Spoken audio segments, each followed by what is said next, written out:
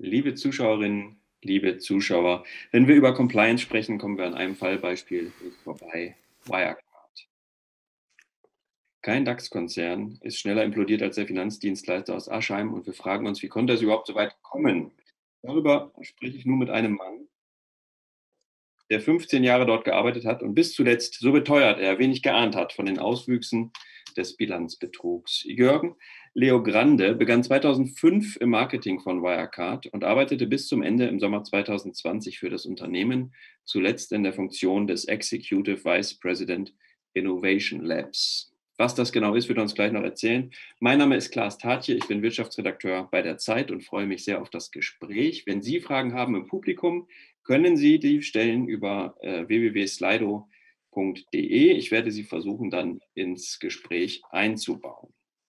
Herr Leo Grande, erinnern Sie sich noch an Ihren ersten Arbeitstag? Hallo erstmal. Ja, ich erinnere mich tatsächlich an meinen ersten Arbeitstag, weil ähm, weil die Situation äh, relativ unüberschaubar war. Ich habe diese Firma äh, gar nicht gefunden. Die war ja am Stadtrand von München.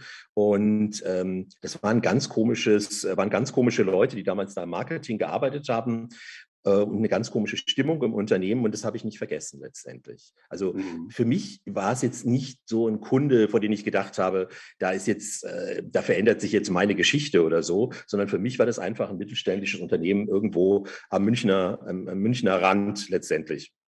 Mhm. Was war das für ein Unternehmen, das Sie da kennenlernten?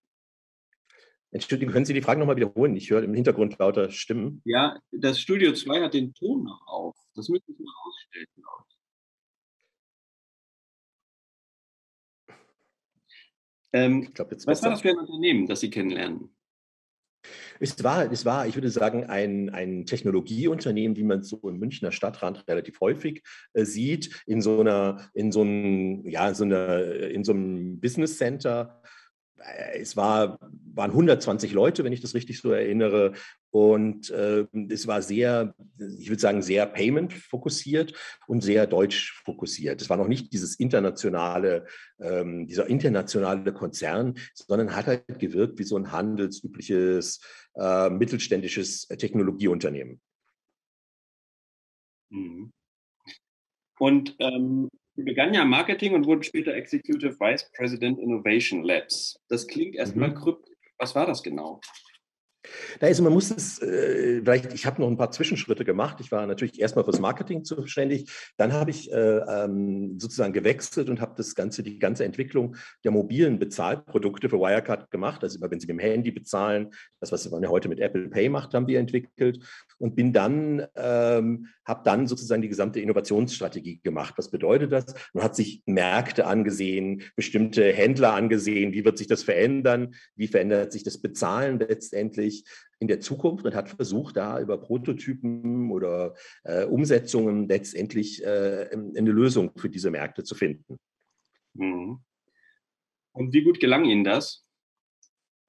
Ja, das ist ähm, schwer zu sagen, wie gut mir das gelang, aber wir haben natürlich, äh, ähm, ich glaube, einige Umsetzungen gemacht. Ich habe zum Beispiel Alipay und WeChat, also die großen chinesischen Bezahlsysteme, äh, nach Europa gebracht und ähnliche andere Kunden. Ähm, das sieht natürlich ganz gut aus, aber die Endbilanz, ähm, die sieht natürlich nicht so besonders gut aus ähm, mit dem Unternehmen, das dann insolvent gegangen ist. Mhm. Wie muss man sich denn, Sie haben geschildert den ersten Arbeitstag, wie muss man sich Ihren letzten vorstellen? Ja, der, wie muss man sich den letzten vorstellen? Der letzte Arbeitstag, das war apokalyptisch. Also ich erinnere mich noch ganz gut, als die ähm, als die Meldung über die Insolvenz der Wirecard über den Ticker ging, das, äh, da standen alle auf, der, auf den Gängen, Leute haben geweint. Es hat viele Leute haben es überhaupt nicht verstanden. Sie müssen mal bedenken, dass die Wirecard im Grunde ein Unternehmen war, das ja 70, 80 Prozent äh, sozusagen nicht deutschsprachige Mitarbeiter hatte. Und äh, viele von denen war gar nicht klar, was bedeutet denn eine Insolvenz. Ja? Und es war wirklich, ähm, war wirklich so ein, so ein absoluter Wendepunkt, den sich halt niemand vorstellen können. In den Tagen zuvor hieß es in den ganzen Med in Meetings immer noch, ähm, wir werden eine Lösung finden. Und plötzlich war dieser enorme Cut da. War äh, war ziemlich äh, frustrierend. Der letzte Arbeitstag, wissen Sie, am Ende ist das alles formell. Sie geben halt Ihre Badge ab, Ihren Computer, Ihr Handy und das war's dann. Sie erwarten noch, dass irgendwelche Engelschöre singen, aber tatsächlich stehen Sie einfach auf der Straße nach, mhm. äh, in, am Kreisverkehr in Aschheim. Mhm. Und dazwischen lagen dann 15 Jahre, über die Sie ein Buch geschrieben haben.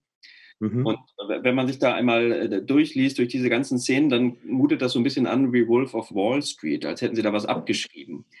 Aber äh, dem war nicht so. Wann nahm denn der Größenwahn bei Wirecard überhand? Wann nahm das alles einen Lauf?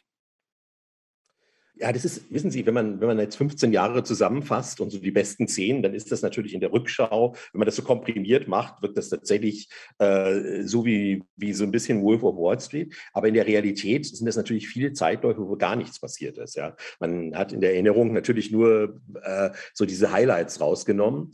Ähm, ich glaube, die Entwicklung die Entwicklung begann im Jahr 2015 ähm, sehr, sehr stark anzuziehen, als die Firma immer größer geworden ist und hat dann ihren Höhepunkt im Jahr 2018 erreicht, als, sie, als die Firma in DAX gegangen ist. Das war eigentlich sozusagen dieser, dieser Nukleus, wo die Wirecard von diesem, ja, ich meine, von so einer Insider-Geschichte plötzlich auf die Titelseiten der Medien gekommen ist. Mhm. Haben Sie auch mit diesen Technikproblemen zu kämpfen, Herr Leogrande? Habe ich mit den jetzigen Technikproblemen zu kämpfen oder ja. allgemein mit Technikproblemen? Nee, jetzt gerade. Ich höre immer wieder Stimmen. Absolut, ich auch, ja. Das äh, muss, ihr müsst dringend aus der Leitung raus, Kollegen in Frankfurt.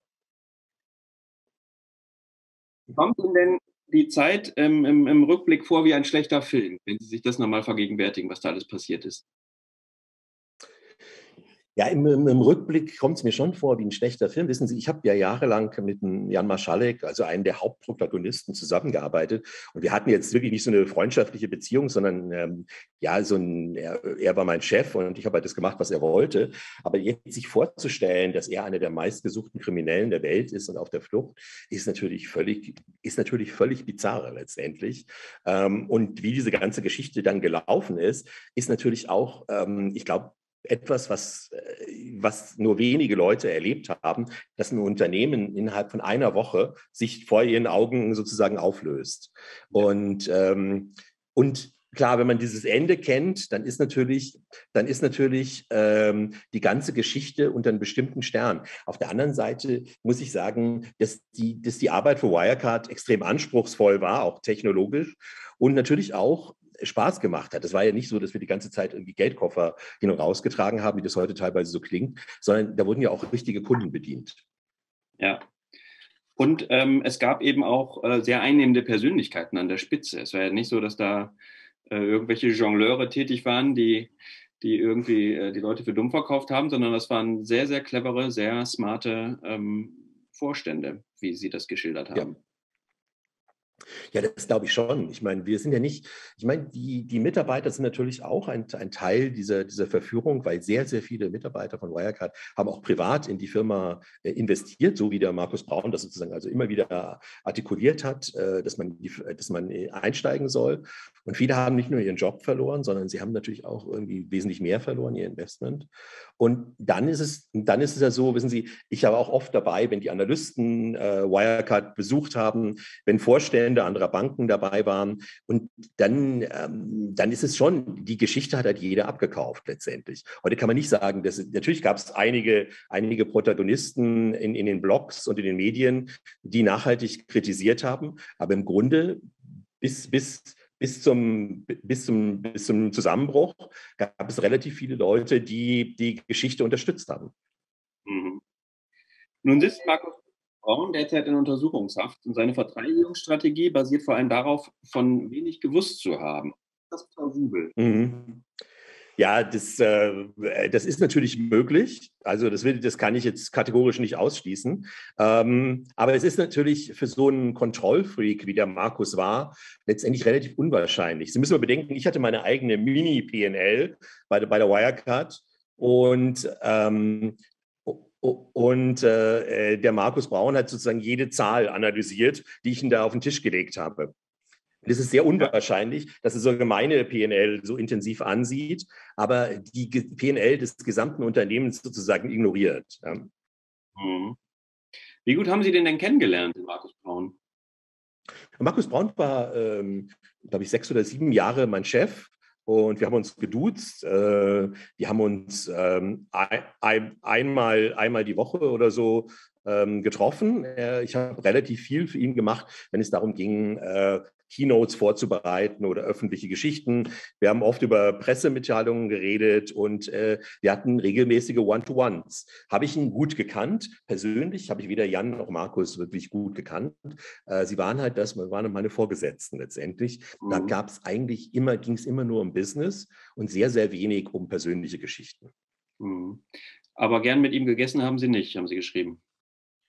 Also mit Markus, äh, ist, Markus hat man immer das Gefühl gehabt, dass es ein, ein, ein, Mensch ist, der andere Menschen jetzt nicht so besonders gerne um sich herum hat, sondern er hatte, er hat schon so eine Aura gehabt, dass er ähm, gerne immer alleine sein wollte, aus meiner Sicht. Und äh, solche so Smalltalk mit ihm war extrem anstrengend. Aber das trifft auf ganz, ganz viele Leute auf der Welt zu. Letztendlich, er hat auch viel, ähm, hat auch viel interagiert mit Leuten.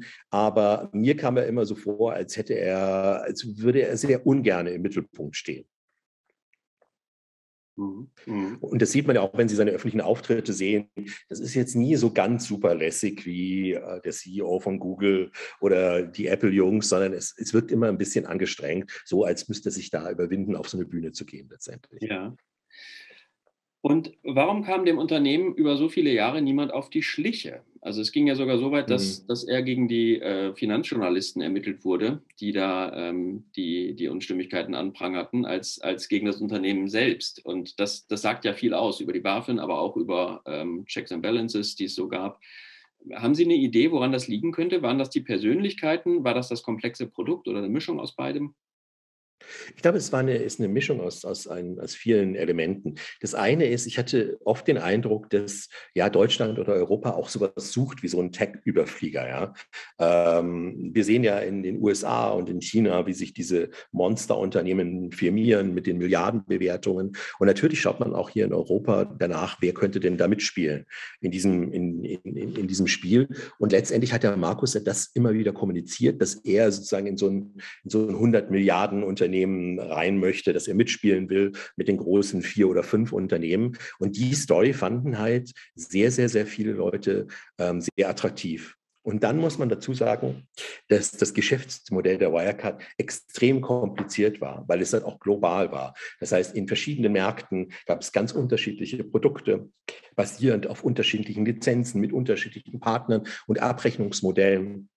Äh, selbst Experten, die die Bilanz durchgelesen haben, haben ihre Probleme gehabt, überhaupt zu verstehen, äh, wie das funktioniert. Ja. Und das ist, glaube ich, diese beiden Elemente. Auf der einen Seite dieser Wunsch nach so einer technologischen Größe und auf der anderen Seite diese extreme Komplexität, die führen halt dazu. Und äh, wenn man sich heute auch mal rückblickend äh, die Geschichte von Wirecard ansieht, dann sieht man auch dieses Feuerwerk von Pressemitteilungen, ja, das Aldi, Lidl, was ich alle großen Unternehmen, äh, hat man so das Gefühl, ähm, unterstützen das Unternehmen oder arbeiten mit ihm zusammen. Und natürlich hat man da den Eindruck, äh, das kann eigentlich gar nicht äh, evil sein, was da passiert.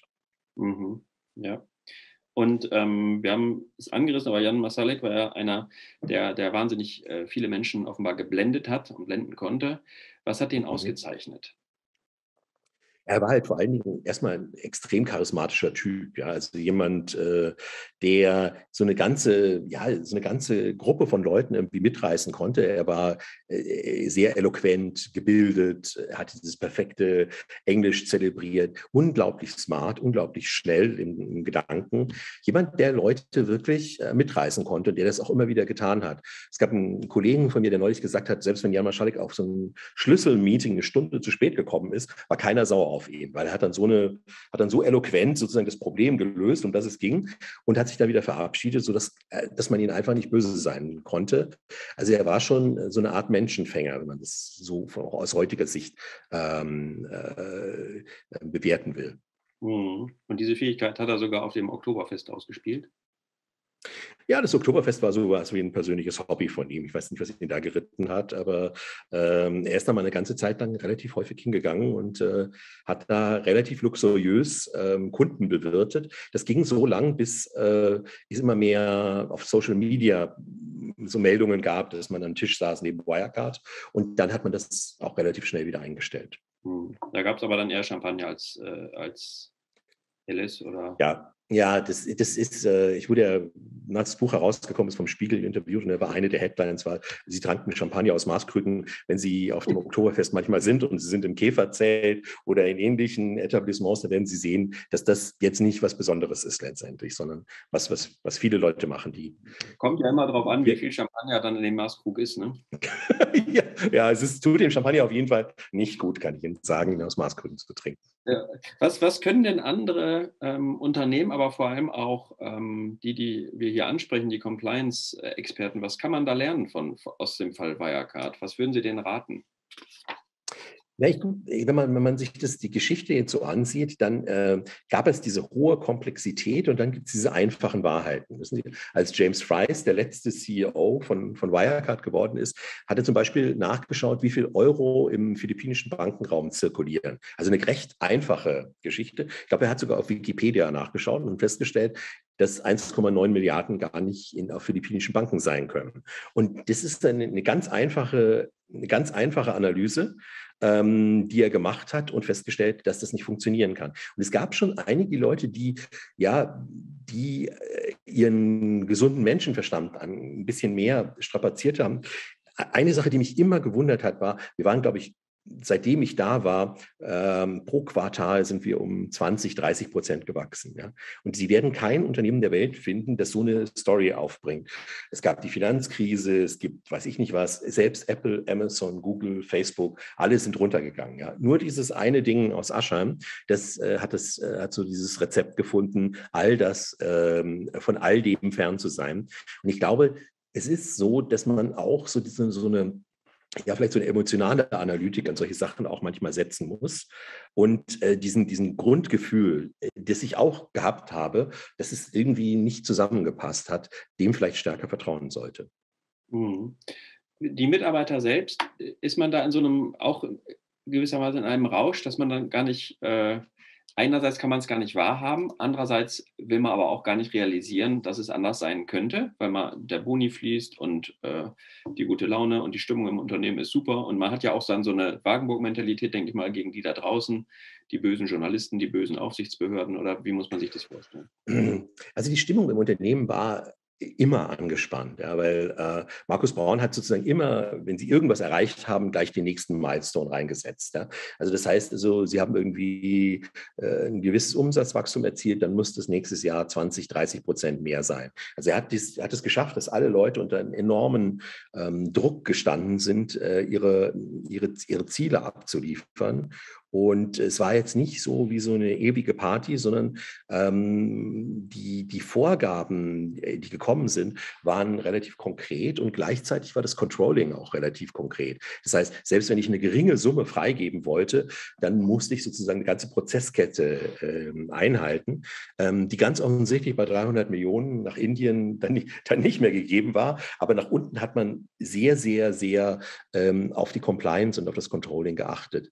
Das heißt, die Stimmung Stimmung war, ähm, würde ich sagen, immer angespannt. Was die meisten Wirecard-Mitarbeiter gedacht haben, ist, dass die Wirecard das Geschäft, was sie nicht in ihren eigenen, auf ihren eigenen Server haben wollte, nämlich äh, Adult Entertainment, Gambling, Gaming, sozusagen ausgelagert hat. Und dafür gibt es mehrere gute Gründe, weil dieses Geschäft ist High, High Risk, nennt sich das, hat halt ein sehr hohes Risiko. Das will man halt im Prinzip äh, so weit weg von der Kernplattform halten, wie es irgendwie geht. Das ist nichts klingt zwar ungewöhnlich, aber es ist im, im Payment, gibt es mehrere Unternehmen, die solche Strategien fahren, dass man mit Drittpartnern das Risiko auslagert. Mhm.